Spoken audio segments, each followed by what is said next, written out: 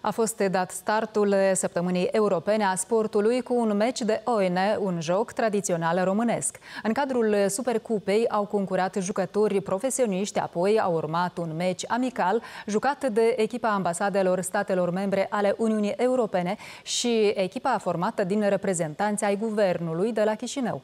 O altă surpriză pentru vizitatori a fost un spectacol cu sunete de bucium.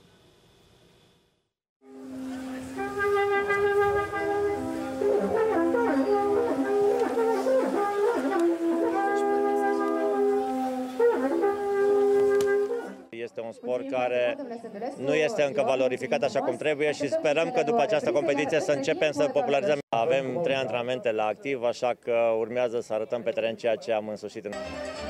Suntem amatori, nu suntem profesioniști. Primul meci e destul de important pentru noi.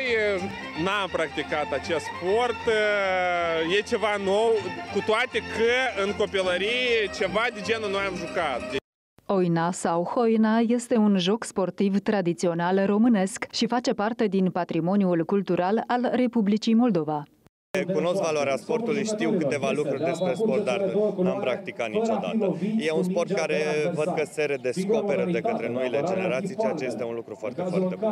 The European Sports Week Ziua Europeană a Sportului este foarte importantă, în primul rând pentru a reaminti despre cât de mult contează pentru toți să facă mișcare în fiecare zi. Un an în urmă nici nu știam despre existența acestui joc tradițional, dar anul acesta doar o să servesc prima minge. Evenimentele sunt organizate atât de, de către autoritățile centrale, autoritățile locale, pe întreg teritoriul Republicii Moldova. Scopul principal este de a promova în rândul cetățenilor modul sănătos de viață. În țara noastră, Săptămâna Europeană a Sportului este organizată din anul 2018.